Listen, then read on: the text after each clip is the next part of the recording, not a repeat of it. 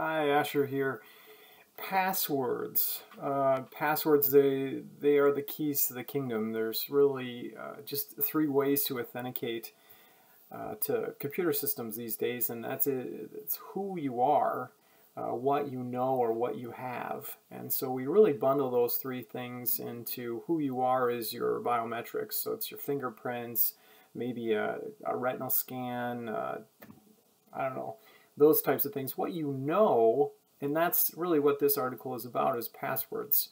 And then finally, what you have might be your your cell phone or a, a key fob or a badge, uh, something like that. So this this article is really about passwords and how what you know is still currently 90 plus percent of how we're authenticating to systems, and that comes down to a password. How do you keep that password secure? So we've got a great article here, best ways to keep passwords organized. Uh, really, we outline three different systems, how you could use Excel or a spreadsheet and password protect that, how you could use some password management software, and finally, just how you could use a good old-fashioned piece of paper and a notebook in case you're um, concerned about your you know, digital files going missing or not being available or being compromised here. So I highly recommend you check this out. It's got some great tips on how to organize your passwords and um, they're just so critical, uh, outline some best practices.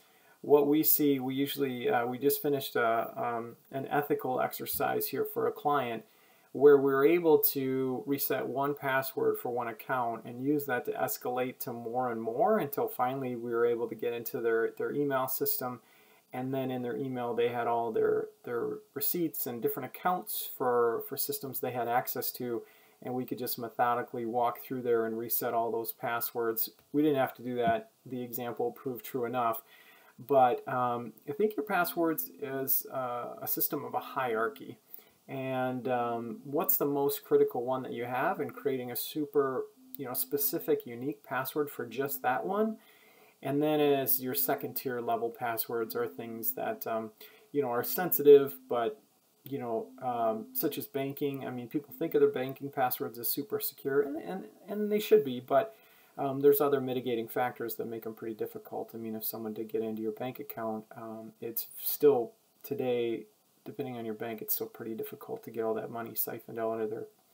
So, and then finally, just like your social accounts or um, you know, some shopping accounts and things like that. So think your passwords as a hierarchy system. They all don't have to have super secure, but if you do want to have a good uh, way to organize your passwords, this is a great article for you, and I highly recommend you check it out. So stay safe, and thanks for checking it out.